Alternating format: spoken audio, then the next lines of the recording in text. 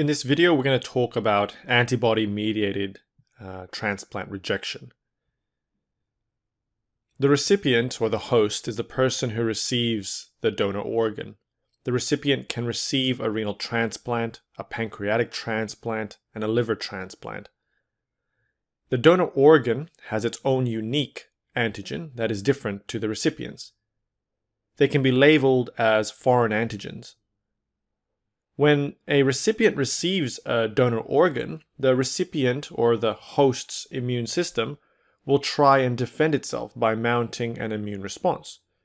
This immune response towards the donor organ is what leads to rejection and the transplanted organ uh, dysfunction. There are two main types of transplant rejection T cell mediated and antibody mediated rejection. The T cell mediated transplant rejection can be divided into acute or chronic rejection. Antibody mediated transplant rejection is divided into hyperacute, acute, and chronic. In order to reduce and prevent uh, an organ rejection, patients who receive an organ transplant take immunosuppressive agents to suppress their immune system. In this video, we will focus on antibody-mediated rejection and try to understand the pathophysiology and treatment. Each and every individual has a unique tag or code. This donor tissue or organ contains unique human leukocyte antigen, HLA, as well as any other antigen. When it comes in contact with the host's immune system, the host's antigen presenting cells will recognize the tissue as foreign. It engulfs the tissue and their antigen and presents the foreign antigen to the host's CD4 T cells, also known as the T helper cells. The antigen presenting cell activates the T helper cells, which in turn will activate B cells to become plasma cells. Alternatively, the B cells and the T helper cells can uh, co-stimulate, activating each other. Activated plasma cells will then produce antibodies towards the foreign HLA molecule or other foreign antigen parts. The antibodies bind to the donor cells and trigger a number of downstream events that ultimately lead to the immune system attacking the donor tissue. This is termed antibody mediated rejection. One of the first things that happen is that the antibodies can bind to foreign HLA and activate the complement system, a series of proteins that, when activated, triggers cascade of complement protein activation. One of the activated proteins is C3A, which stimulates monocytes, macrophages, and neutrophils. This is the same for C5a, which is a split product uh, caused by C5 convertase. C5b, the other product, help form the membrane attack complex, or MAC for short, composed of C5 to C9 complement proteins. The membrane attack complex causes cell lysis and ultimately cell injury. The injured donor cells will release chemicals that will activate surrounding endothelial cells to express adhesion molecules and release cytokines and chemokines to help attract other inflammatory immune cells to the area, such as neutrophils and macrophages. These activated immune cells further release cytokines, which recruit other immune cells, including natural killer cells, which will attack the donor cells. Endothelial cell injury and activation leads to hemostasis, where you have platelet activation and thrombosis. Thrombosis, if uncontrolled, may lead to ischemia of the tissue due to occlusion in the blood vessel. You can see visually that antibody-mediated rejection of a transplanted organ is complicated. The initial interaction between the host's antigen-presenting cell and the host's T helper cell is the indirect pathway. The direct pathway is when the donor's antigen presenting cell, which is now present in the recipient's body, presents the foreign uh, antigen directly to the host's T cell.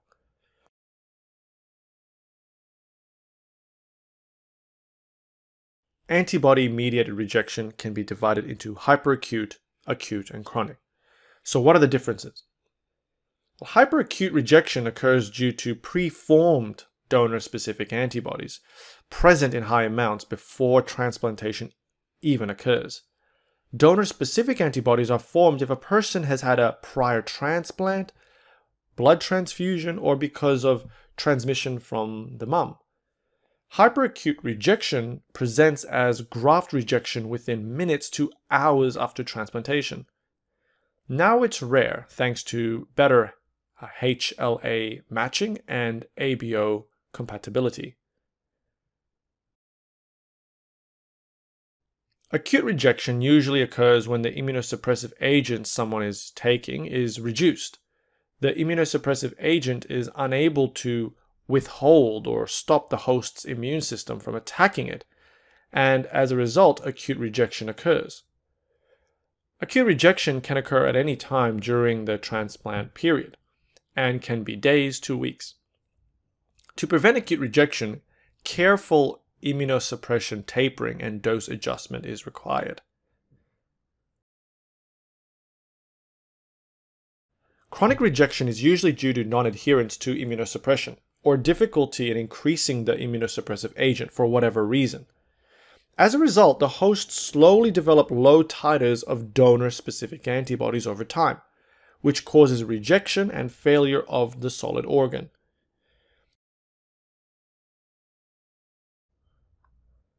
An important investigation to distinguish antibody-mediated rejection to cell-mediated rejection is by measuring the complement protein which work alongside the antibodies, specifically complement protein 4D, which is a marker of antibody-mediated rejection.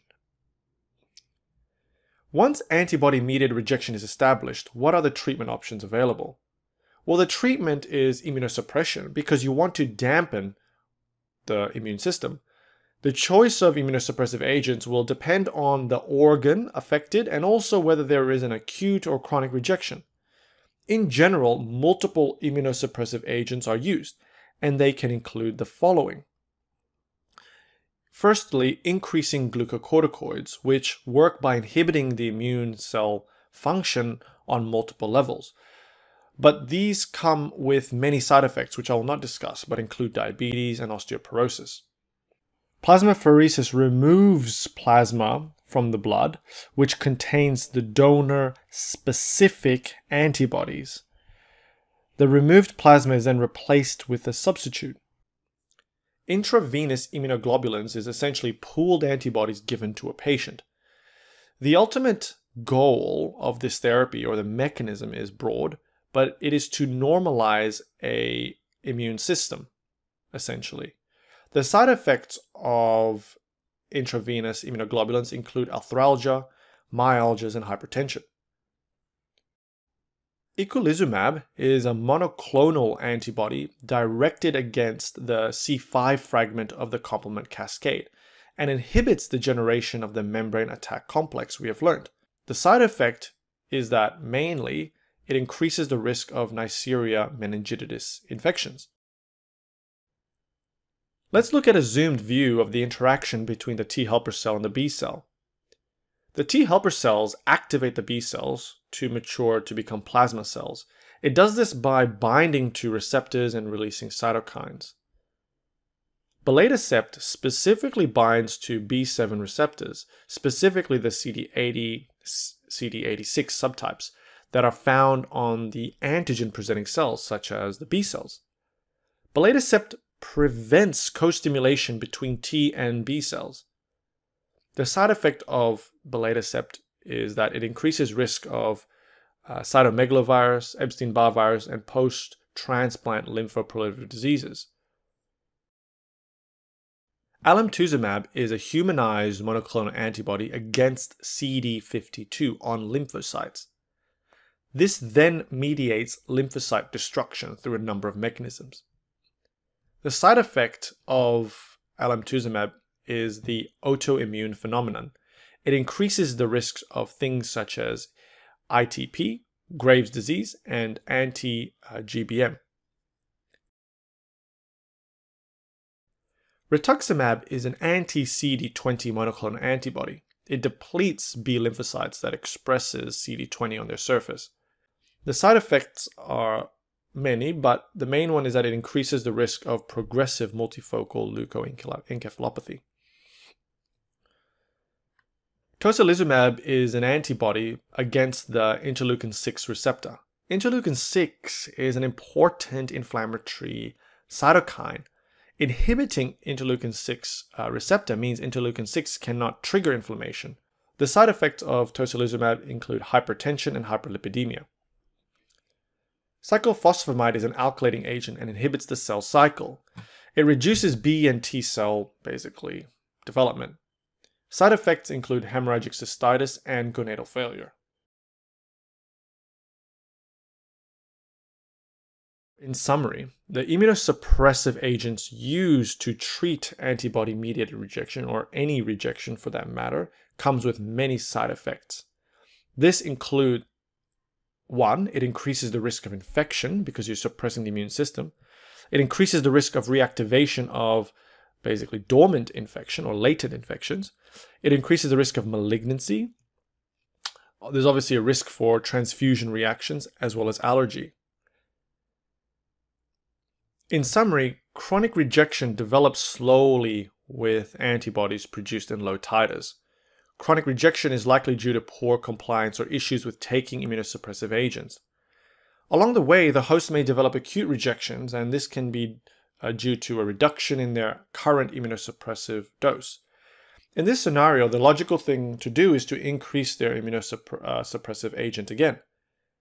It's about finding the right dose of immunosuppression, making sure the transplant organ is functioning well, and, manage, and managing the complication of the immunosuppressive agents. Thank you for watching, I hope you enjoyed this video.